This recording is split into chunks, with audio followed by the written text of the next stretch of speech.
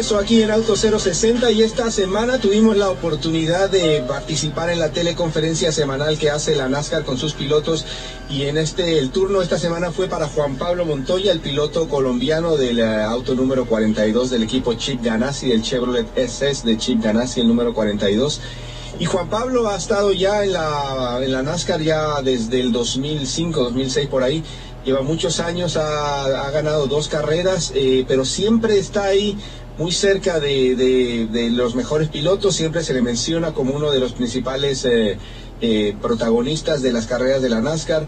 Este año ha tenido una muy buenas actuaciones, ha tenido cuatro finales en el top ten, estuvo a punto de quedar en segundo lugar en Sonoma, lamentablemente el equipo calculó mal lo que tenía de gasolina en el auto, así que por esa razón quedó de un lugar, de, lo que hubiera quedado en un lugar, a segundo lugar, quedó por allá en los 30, 34, 36, muy lejos de los ganadores, así que eh, eh, eh, hay que entender que en, la NASCAR y en todos los, todas las series de automovilismo no es solamente el piloto el que cuenta a la hora de obtener los resultados positivos, sino que es todo lo que, lo que hay alrededor, los mecánicos, el jefe de equipo, incluso los, los chicos que, que, que hacen la parada de los pits son fundamentales, de hecho, ellos, porque en una carrera perder dos, tres segundos eh, realmente es muy difícil. Así que esta semana tuvimos la oportunidad de hablar con Montoya y más allá de las carreras y los resultados, le preguntamos sobre lo que ha significado, lo que significa para él haber sido eh, o ser todavía uno de los líderes de los pilotos de las nuevas generaciones que vienen en la NASCAR y en otras series. Así que vamos a escuchar eh, las respuestas que dio Juan Pablo Montoya, eh, unas directamente conmigo, otras con otros colegas. Así que vamos a ir ligando las uh, preguntas y respuestas. Así que escuchemos la primera parte de la entrevista con Juan Pablo Montoya, piloto del número 42 de Chip Ganassi en la NASCAR. Hola Juan Pablo, eh, eh, gracias por el tiempo y la oportunidad de hablar en español contigo. Por ahora tú eres el único hispano en la Sprint Cup y hay una nueva generación de pilotos que te ven a ti como la gran inspiración, Gaby Chávez, muchos compatriotas tuyos. ¿Cómo ves el futuro de los hispanos en la NASCAR después de todo el trabajo que tú has hecho y, el ejemplo que has dado a todo el mundo? Pues la verdad, es porque yo he abierto muchas puertas, no solamente en NASCAR, sino en Fórmula 1, en Indy, por todo lo que yo alcancé a hacer y he hecho en mi carrera. Y, pues la verdad poder ser como el líder y, abrir puertas ha sido muy muy bueno para pues para, para los latinos.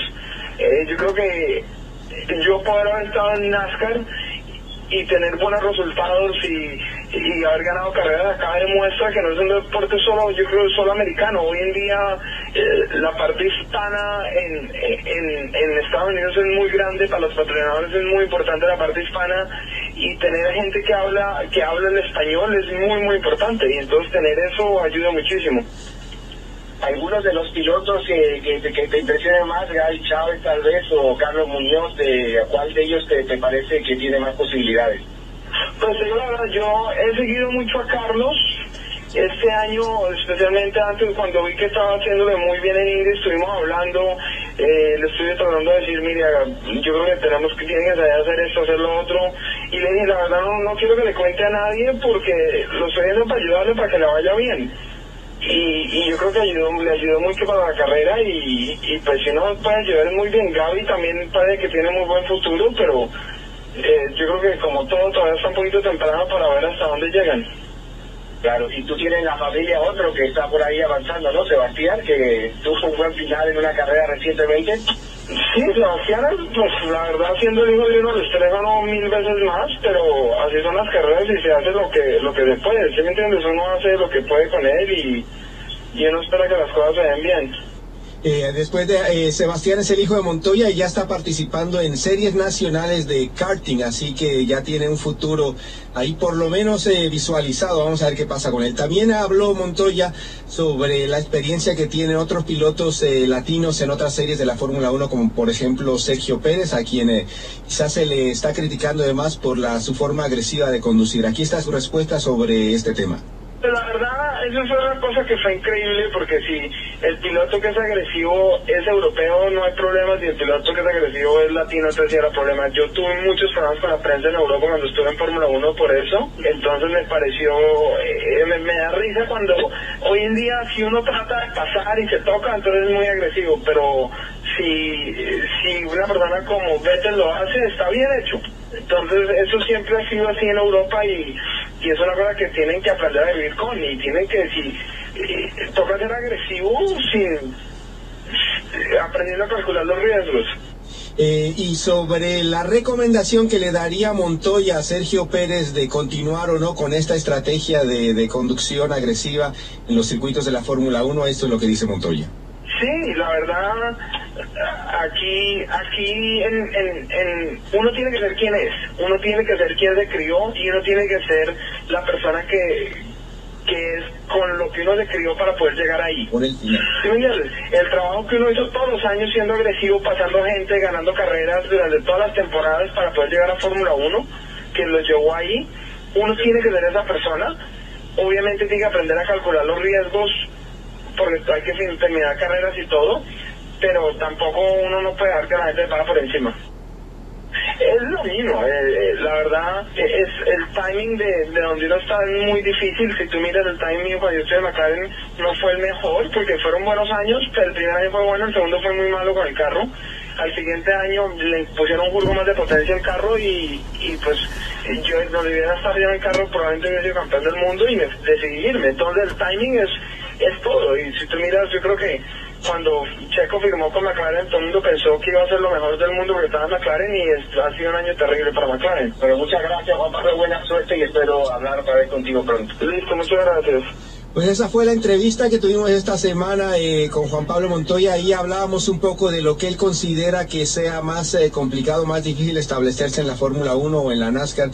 Y para él ha sido eh, una, una, eh, una lucha constante desde que llegó a- acá a la NASCAR en el año 2006.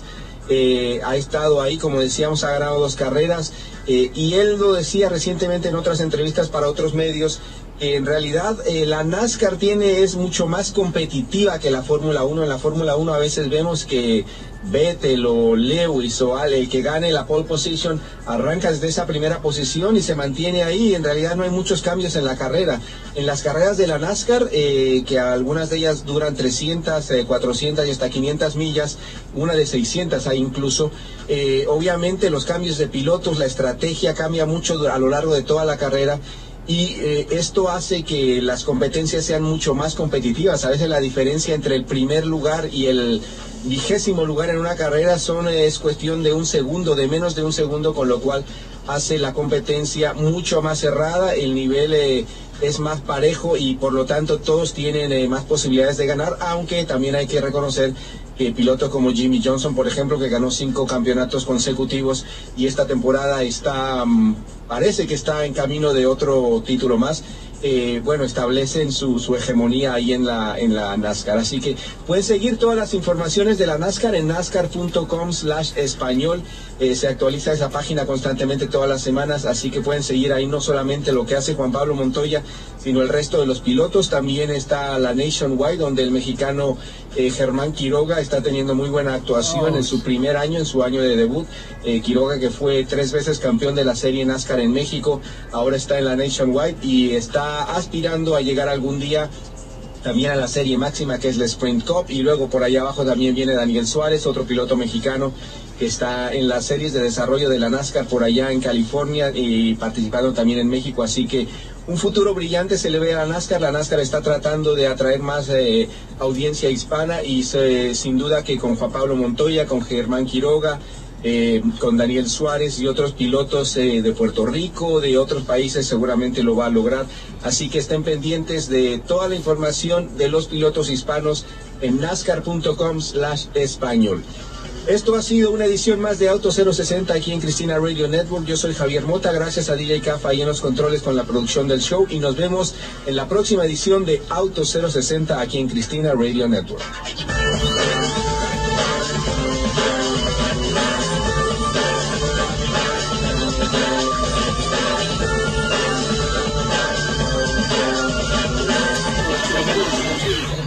Este programa fue una producción de National Latino Broadcasting.